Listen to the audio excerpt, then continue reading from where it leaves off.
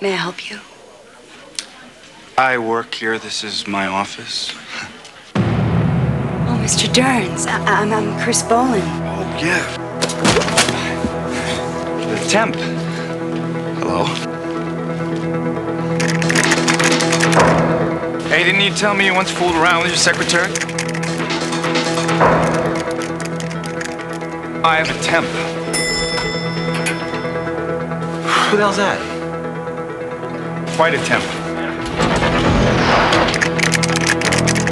You want to call your husband, and tell him you're working late? No. Kris, I don't get involved with my assistants. Maybe someday I won't be your assistant. Someone is leaking marketing strategy to our competitors. Kris, you can get off now. Ron, how are you? She's got a hidden agenda, Raj. Don't we all?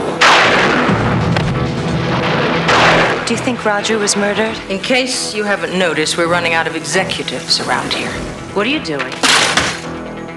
Come on, you have doubts about her, too. So it's still me. Tell me it isn't. Is there a problem with your temporary? No, just want to know a little bit about her. The man tries to get ahead in business and he's ambitious. A woman tries to and she's a slut. She wants to be my boss. Are you sure? No, I'm not sure about anything.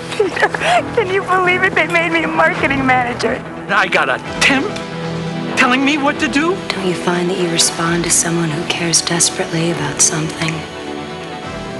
Anything? I'm not selling secret, Charlotte. Well, what are you doing, Peter? What's going on? You have been acting like an insane. Well, someone in this company is trying to destroy me. For Peter Derns, Morning.